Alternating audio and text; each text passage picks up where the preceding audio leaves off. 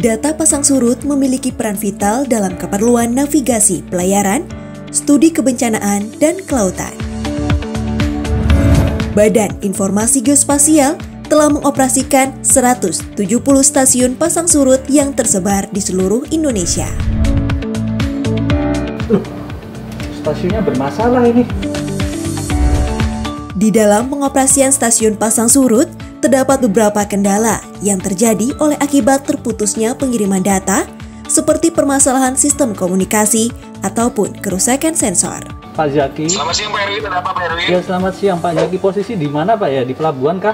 Iya Pak, saat ini saya berada di stasiun pasang surut Pak Erwin, ada apa Pak Erwin? Oh iya. Saya saat ini sedang memonitoring uh, data stasiun pasang surut Semarang. Uh, saat ini ternyata setelah saya uh, monitor ada permasalahan terkait peng, uh, pengiriman datanya ke ke tempat kami. Bisa minta tolong untuk di restart Pak Zaki ya alatnya dan dicek kondisinya.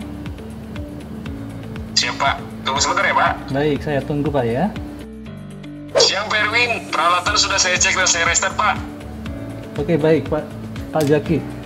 Setelah saya cek kembali ternyata eh, permasalahan masih berlanjut. Ada kemungkinan ini kami identifikasi kembali lagi apabila memang perlu akan kami agendakan untuk perawatan onset di lokasi. Sementara seperti itu dulu Pak Zaki. Terima kasih atas bantuannya Pak Zaki ya. Siap, sama-sama Pak Erwin.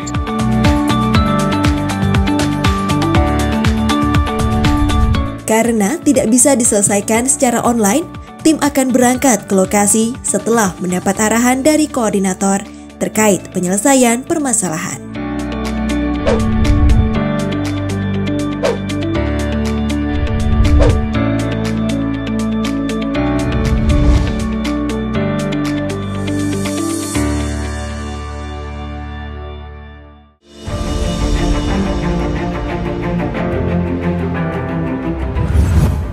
Setelah melakukan persiapan dan telah mendapat arahan dari koordinator, tim pun tiba di stasiun Pasang Surut Semarang.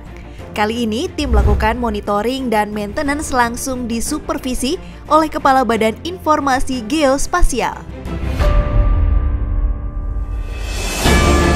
Saat ini kita berada di Semarang, di stasiun Pasang Surut BIG di Semarang. Dan hari ini kita melakukan eh, apa renovasi atau penggantian sensor untuk menjamin keberlangsungan pengambilan dan eh, transfer data yang sebetulnya ini sangat krusial apalagi pada saat-saat eh, bencana seperti ini. Nah, stasiun Pasut yang ada di sini, yang ada di stasiun kita ini, ada dua instrumen utama. Yang pertama yang milik kita sendiri, BIG, dan yang kedua adalah uh, kerjasama dengan GFZ.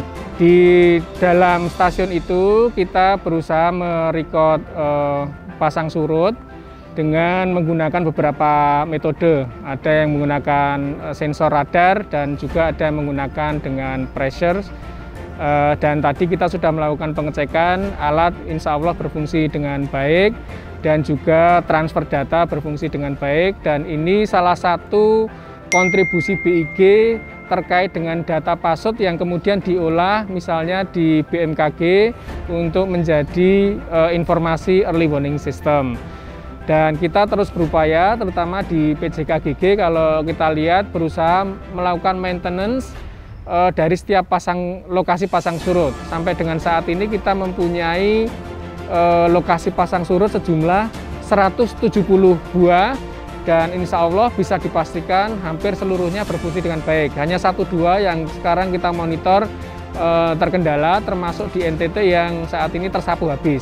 Dan insya Allah itu menjadi bahan yang kita identifikasi di sampai dengan akhir tahun ini kita akan jamin bahwa kualitas data di minimal 166 lah yang e, bagus sampai dengan saat ini itu bisa berlangsung dan bagus. Kita juga berharap bahwa data ini bisa di digunakan oleh banyak pihak dan juga bermanfaat terutama dalam pengurangan risiko bencana.